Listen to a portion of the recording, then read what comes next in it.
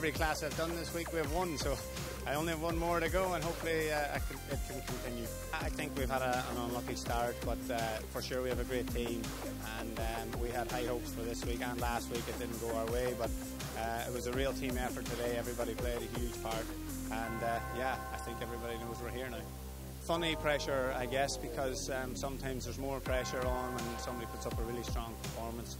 Thankfully for me, uh, the other team actually had one down, so it made it uh, a little easier for me. Obviously, still have to get it done, and your horse has to jump well, but it made it slightly easier for me. I guess the hard work in, in this uh, format is probably the second round. Think. So, yeah, it was easier.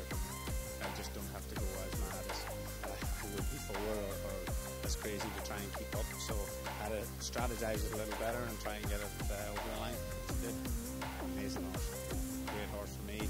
I own her with Ariel Grange, and she's won I, have lost count of how many classes she's won international. So I'm uh, lucky to have her, and hopefully we can keep her.